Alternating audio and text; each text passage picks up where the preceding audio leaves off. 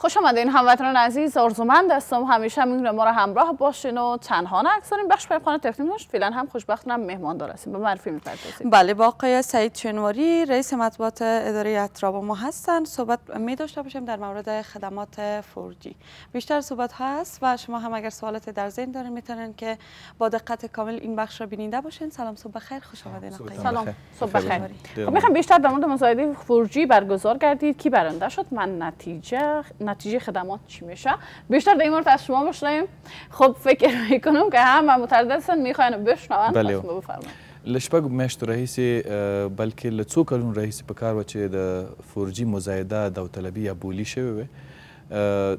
افغانستان کې لومړي ځل لپاره دا یو تاریخي پریکړه وه چې اترا ادارې یو اقدام هم وو چې اترا ادارې وکړ شپږ میاشتو راهیسې موږ پرله پسې به دې باندې کار وکړ چې فریکونسي په 1300 میګا هرټز بینډ 2100 میګا هرټز بینډ او په 2600 میګا هرټز بینډونو کې تقریبا پنځه پنځوس میګا هیټسه فریکونسي موږ مختص کړل تخصیص مو کړل هغه مو مخابراتي شبکو ته په اختیار کې ورکول غوښتل اما د یوې بولې له لارې دغه شپږ میاشتو کې موږ فوق العاده زیات کار وکاو یو دغه مو ډیزاین کړی مزایده مو ډیزاین کړې وه او بل اخره چې تیره ونۍ تر سره شوه او پرون ابل پرون د هغې نتایج اعلان شول خوشبختانه افغان ټیلیکام مخابراتي شرکت د سلام شبکې لپاره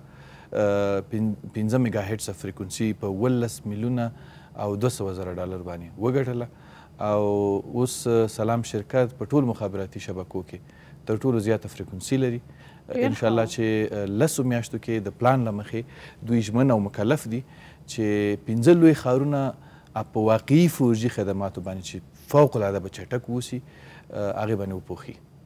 ډیر خوب بسیار خوب گرچند که آقای شنواری اشاره داشتین ولی میخوایم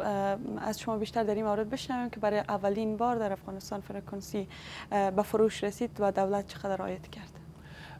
به دولت 17.2 میلیون دلار عاید رسید انشالله که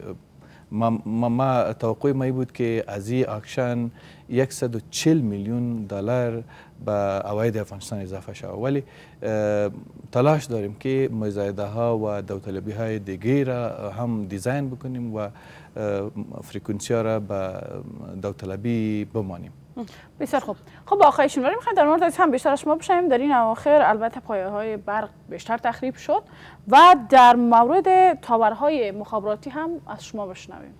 بله مخابراتی ټاورونه هم په تیرو څلورو میاشتو کې یو پنځوس مخابراتی ټاورونه تخریب شوي دي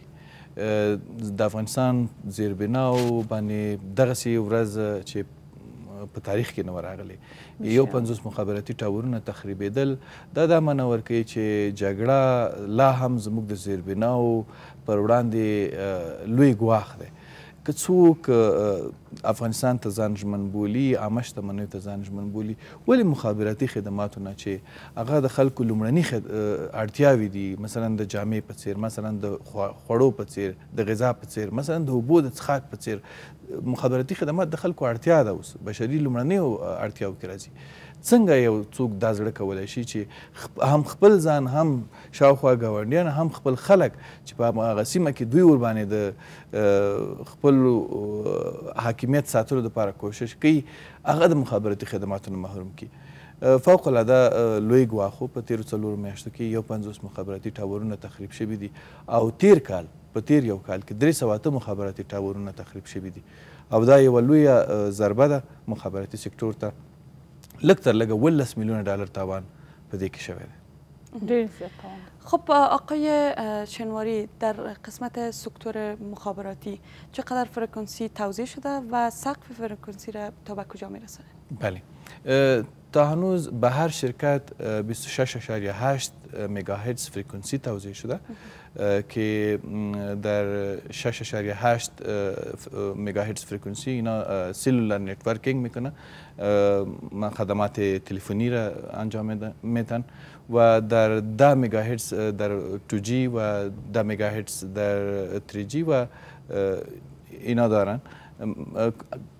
کلش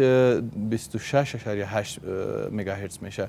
و تا هنوز در کل در سکتور مخابرات یک صد و سی و چهار مگاهرتز فرکانسی توزیع شده و در جهان معمول این است که دولت ها کمترینش 300 مگاهرتز فرکانسی به فروش رسانده یا توزیع کرده است و ما هم در پنج سال آینده تلاش داریم که سقف خود به 300 مگاهرتز برسانیم و فرکانسی را زیاد توزیع کنیم ولی از طریق مزایده بعد از این هوای افغانستان یا به اصطلاح عام برتان گفته میتونم که قیمت داره مثل که آب ما قیمت داره مثل که معدنهای ما قیمت داره بعد از این هوای افغانستان امواج افغانستان هم قیمت داره و ما تلاش داریم که مزایده های بیشتری را دیزاین بکنیم و ان شاء الله در آینده در هر شش ماه ما تلاش داریم که یک مزایده را برگزار بکنیم و فریکونسی ها را به دوطلبی بمانیم و هر کس که برنده شد عواید دولت هم اضافه میشه و خدمات هم خوبتر میشه و ما تلاش داریم که ای را به 300 مگاهرتز از طریق مزایده ها برسانیم ډیر ښه شنواری صاحب تاسو له خوانه یو اعلامیه صدر شوی چې څوک غواړي چې پرایویټ نمبر هم د سی وینو هغه کولای شي تاسو ته مراجعه وکړي او اترا مخ... اترا ته راشي نو بیا به هم د هغې شمیره همغسې پرایویټ وي که هغسې ونشي او دوی ورانه شي او مراجعه لپاره کولای شي چې بیا هم پرایویټ وي پرایویټ نمبرونه چې چا راجستر کړي ټول پرایویټ نه وتل عادي حالت ته واړو نو دا بیا هم پروسیجر همداسې دوام لري نه پروسیجر اوس دوی خلکو دپاره بدل دی موږ ډېر اعلانات وکړل خلکو ته مو میسجونه واستول او اعلانات مو د ټولنیزو شبکو له لارې هم وکړل اعلامیې مو هم ورکړل لکه څنګه چې تاسو ویل پرایویټ نمبر دومره سخته موضوع نه ده ولې په افغانستان کې د هر شي نه ناسمه استفاده دا یو لوی ګواښ دی یعنی پرایویټ نمبر خلک اخلي دې لپاره چې د ګواښونو نه بچ شي ولې ځینې وخت کې خلکو چې پرایویټ نمبر اخیستی هغوی خلکو ته یو ډول ګواښ شول نو موږ وغوښتل چې د دغه پرایویټ نمبرونو نه ناسمه استفادې مخنیوی وشي نو موږ ټول مخبر ټولو خلکو ته چې مثلا یو کس د درې څلور کاله مخکې د دولت مامور هغه پرایویټ نمبر اخیستی اوس د هیواد په یو کونج کې اوسیږي وظیفه هم نه لري هغه ځینې خلکو ته ګواښ کوي پرایویټ نمبر نه یا هم ستونزه جوړي یا حتی دولت مامور نه دی نو د نه دغه نمبر اوس ناسمه استفاده کیږي څنګه مخنیوي وشي نو موږ اعلان وکړ چې چا پرایویټ نمبر اخیستی دی را دي شي هر څومره کلونه کې شخص بیا د ثبت مجدد دی وکي او بیا مور د فیس هم ورته ټاکل کله چې دوی فیسونه ورکي تعرفه ورکي او موږ 2020 افغاني دی یو کال لپاره او نو موږ دوی د لپاره دا پروسه په لار واچوله چې موږ یو وار بیا وګورو چې چا سره دی پرایویټ نمبر بیا چې چا ثبت مجدد ونه کړ راجستر یې نه کړل نو موږ بیا هم یو میاشت دوه میاشتې وخت ورکړ بیا مو ورته اعلانات وکړل چې تاسو راشئ دغه شمېرې مو بیا ثبت او راجستر کړئ چا چې ونه کړل اوس ډیر زیاتر خلک ماته راځي شکایت کوي چې زموږ ټلیفون نمبر پرایویټ نه وتلی دی عادي حالت ته ګرځېدلی نو اوس د هغوی د پرایویټ نمبر نه وتلی دی پروسه سټاپ نه ده اوس که څوک دولتي مامور اوسي پخوا یې پرایویټ نمبر لرود اوس د پرایویټ نه ایستل شوی دی هغه مجبور مکلف دی چې بیرته د خپلې ادارې د لومړي کس نه مثلا وزیر نه عمومي رئیس نه هغه نه هغه په امضا باندې یو مکتوب موږ ته راوړي بیا موږ پروسس ورته کوو بسیار خوب و همچنان روند توزیع آیسیم برای مشترکین به کجا رسیدن؟ در دو شهر بزرگ آغاز شده است مثل کابل و جلال آباد و این یک پروسه است که زمانگیر است ای سم در جهان توزیعش در 2018 شروع شده ولی چند بود داره مثلا کمپانی های تلفنی که تلفن را پروداکت میکنه اونا هم وقت کار دارن که در پروداکت های خود یا تولیدات خود برای ای سیم جای بمانند و ایسه ما باید ما ما و شما بلدیت پیدا بکنیم ولی انشالله که در آینده نزدیک ما میخواهیم که ایسیم در افغانستان به مو یعنی هغه رایج شي او خپل اوج ته ورسیږي هر سړی سره یې سیم باید وسی رښتیا ده شینواری صاحب دا چې مونږ ګورو په سرک پر غاړه بعضې سیم کارتونه دي چې خرڅوي د هغې روان څنګه مخ ته ځي کله دې لیدلي او پخوا به دې لیدلي اوس یې اوس نشته او اوس دومره ډېر نه ده خو بیا هم هماغه روان تاسو خپله پوهېږي چې دومره زر هر شی تغییر تغییر نه راځي پکې لږ زره تلاش او کوښښ ته اړتیا لري نو د هغې کار تر اوسه پورې څومره مخ ته تللی یو کال کېږي تقریبا یو کال تاسو په جدیت باندې ما ته ولې قلم لیدلی خو کېدای شي درې څلور کاله کېدای شي درې کاله پس وړاندې یا دوه کاله وړاندې یو کال وړاندې هم تاسو لیدلی اوسي ما شوخي وکړه نه پوهېږم له یو کال او څو میاشتو راهیسې اترا ادارې په پوره جدیت سره دا د سیم رجسټریشن موضوع جدي نیولې ده ځکه دې نه جرمونه هم کېږي، دې نه خپل وطن ته زموږ ضرر هم رسېږي او دې نه ناسمه استفاده هم کېږي. موږ وغوښتل اوس یو سړی دی سیم کارت اچي راجستر کوي نه یو چا ته ګواښ کوي یو سړی دی سیم کارت اچي هغې نه جرم ترسره کوي دا یو لویه معضله وه په افغانستان کې پخوا به دا موږ به سړک په سر باندې ریډ وه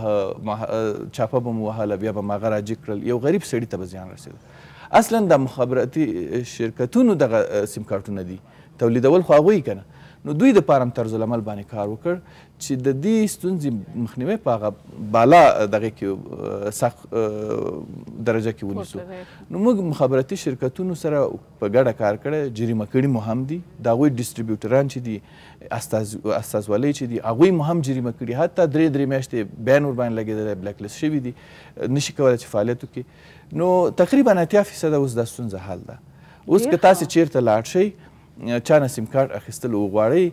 اول به ډېر که خرڅوي هم زه داسې نه وایم چې دا ستونزه لا په کامل ډول باندې نه، ختمه ده رښتیا ده. اوس موږ ټیټ غواړو چې شوی. اه، الې- الکترونیکي تذکره که ډېره شوه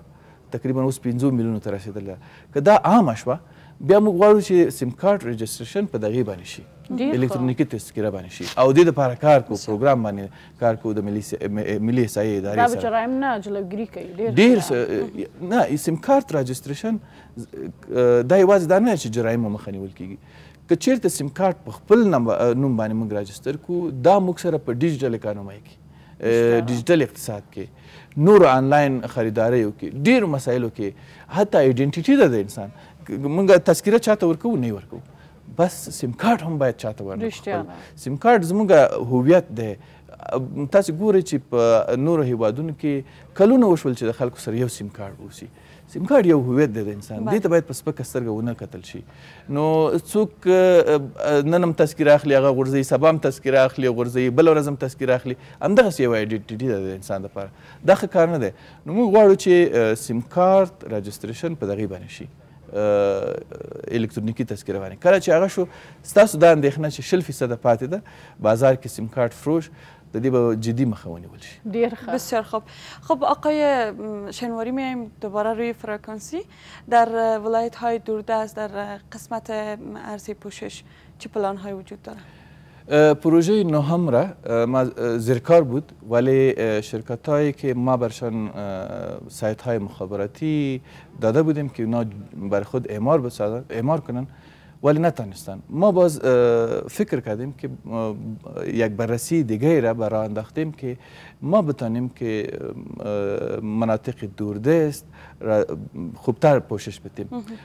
باز تلاش داریم و دیزاین میکنیم پروژه دهم را که ما از آن طریق چار ساعت یا چار و نیم ساعت سایت های مخابراتی را در مناطق دوردست اعمار میکنیم و انشالله که پوشش مخابراتی گسترده تر میشه ډیر مننه تاسو نه شنو ډیر مننه تاسو نه تاسو موفق اوسئ او مننه ګوره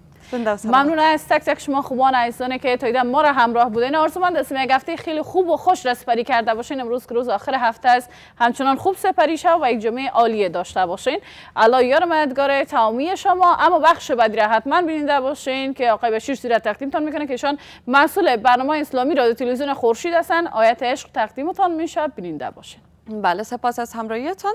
و جمعه خوب و خوش پیش رو داشته باشین تا برنامه بعد و دیدار بعد که انشالله روز شنبه در خدمت شما ایزان قرار میگیریم شما را به خداوند پاک امانت میکنیم بقیه برنامه های تلویزیون خورشید را همچنان بینیده باشین